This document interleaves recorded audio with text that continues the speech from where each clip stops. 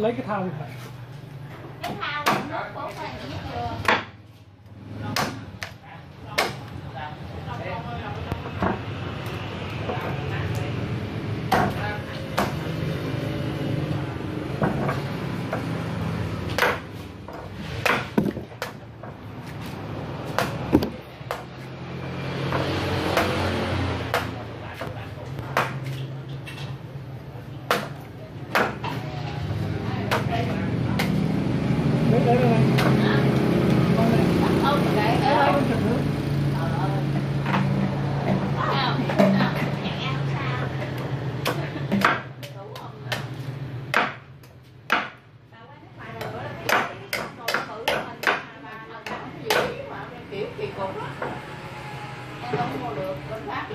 Tại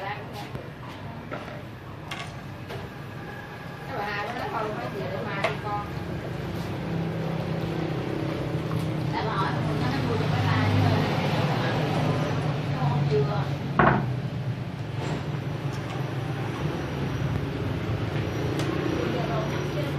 chưa không tại vì là bà của mình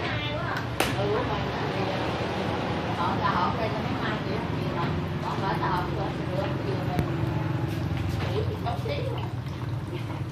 đâu người nói nào. Đi hai bên chợ mua không về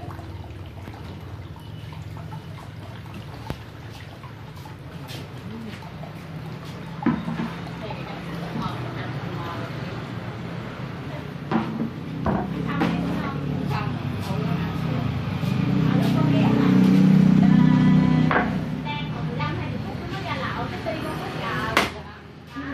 cái qua lỗ cái đầu nó đổ về đi bạn đó, xong rồi có là ấn mua